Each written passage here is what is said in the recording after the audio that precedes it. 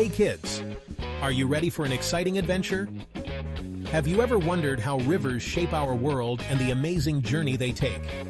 Today, we're going on a fun and exciting adventure, following a river from its source all the way to the sea. We'll see how it changes and grows along the way. Buckle up, because this journey is going to be amazing. We'll discover so many cool things about rivers.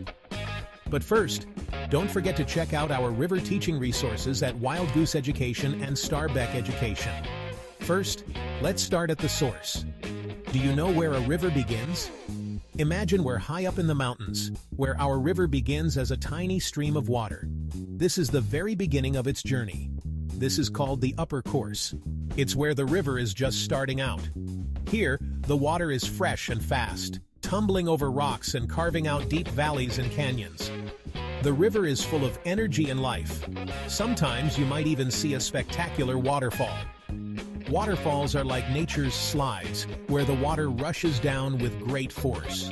How cool is that? Waterfalls are one of the most exciting parts of a river's journey. As the river flows down the mountains, it reaches the middle course.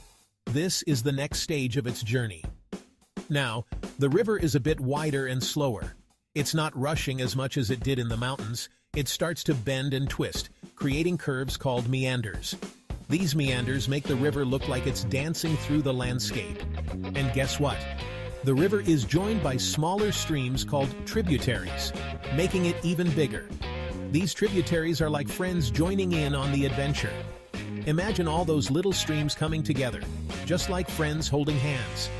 They make the river stronger and more powerful. Next, we reach the lower course. This is the final stage of the river's journey before it meets the sea. Here, the river becomes really wide and slow. It's taking its time as it flows through flat land. The land is flat, and the river spreads out, creating a beautiful landscape. It's like the river is relaxing after its long journey. It might even form a delta, which looks like a fan or a triangle, as it deposits all the soil and rocks it has carried along the way. Deltas are like the river's way of saying goodbye to the land. This is where the river meets the sea, at the river mouth. It's the grand finale of the river's journey. Isn't it amazing how a river can start as a small stream in the mountains and end up flowing into the vast ocean? It's like a tiny trickle growing into a mighty force. Rivers carve paths, create valleys and canyons, form waterfalls, meanders and deltas, all while providing water and life to everything around them. They are truly nature's artists. So next time you see a river, remember the incredible journey it has taken from its source to the sea.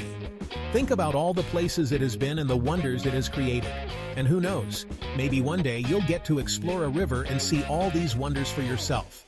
There's so much to discover and learn. Thanks for joining me on this adventure, kids. I hope you had as much fun as I did. See you next time for more fun and learning. Bye, keep exploring and stay curious.